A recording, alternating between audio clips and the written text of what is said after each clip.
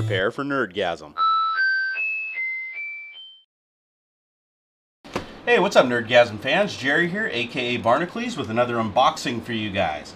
Um, I decided to order up something else to control my media center with in my bedroom because I used to use this. This is called a gyration control, and uh, it's got a little USB dongle that comes off the back of it, and uh, it's also a one gigabyte storage, which I thought was kind of funny.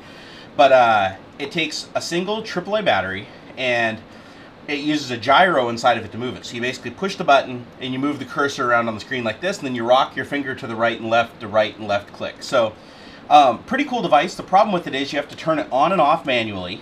And if you leave it on, it'll completely drain the battery in a couple of hours. So I keep forgetting to turn it off when I set it down. I pick it up and it's dead again. So this thing is just a battery hog.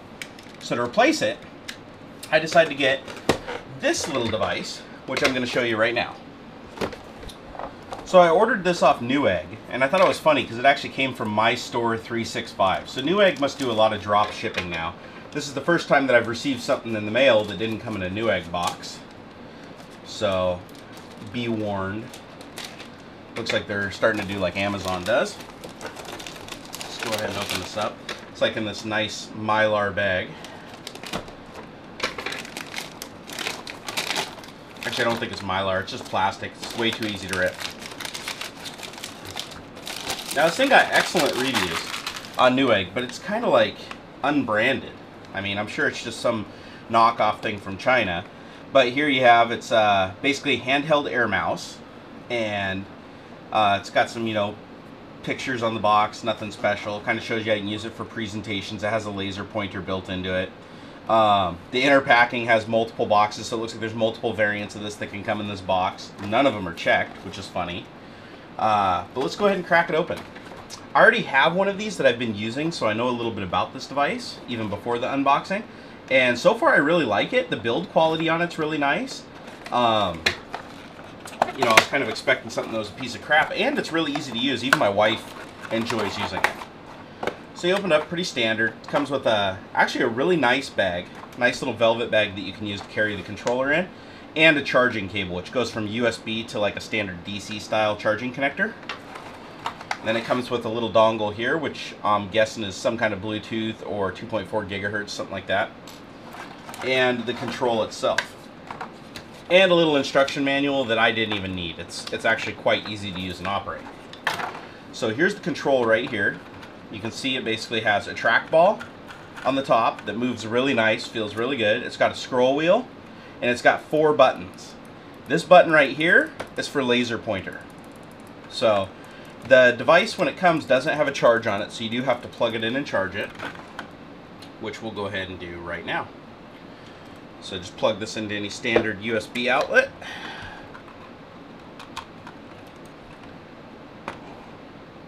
We should see something, okay, and it's blinking green indicating it's charging. Now, for me, it only took a couple hours to charge, and I still haven't even gone through a full charge yet. You can see with it plugged in, it's got a laser pointer. And the way that you hold it is like this. And it's actually really, really easy to use. You just use your, your thumb to move the cursor around, and then the scroll bar right here to scroll up and down on pages, and it even has a click too, a center click, and then if you want to point at something on the screen, you just push this button for laser pointer. This button right here uh, comes defaulted to print, so if you push that, it brings up the print dialog. And then down here, you have uh, you have a right, basically a right mouse click, and I haven't figured out, this one I think is just like the trigger. It's also the same as just a regular mouse click. But the trigger itself is the actual mouse click. And it actually has a really nice feel to it. You can push it right on the edges, you can put your finger all the way through it, it's actually really nice. And it's completely plug and play. I plugged it into the computer, it found the mouse immediately and started working, so there's absolutely no problems there. If you look down in the link uh, in the description, it'll take you right to where you can purchase this device. I think it's like 29 bucks.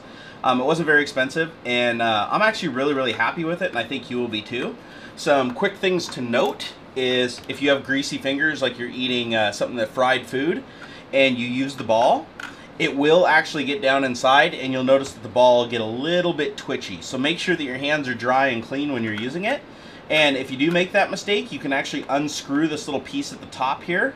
Um, you'll have to put like some little prongs in there. I'd use just uh, like needle nose pliers. Twist that off and then clean the rollers off on the inside. But uh, the tracking precision on it is is very, very good. And like I said, it was a really small learning curve. And compared to the gyration, don't get me wrong, I like the gyration because you could just move it around like a Wiimote and click the buttons. But ultimately, this is just a little bit even easier to use. And it's nice because you can actually be rolling and moving the cursor while you're clicking and holding something. With the gyration, it was very, very difficult to do that. So guys, this was a simple unboxing. I hope you enjoyed it. Uh, if you'd like to see a video on actually using the device on a screen with like screen capture and everything like that, let me know. I'd be happy to do it for you guys.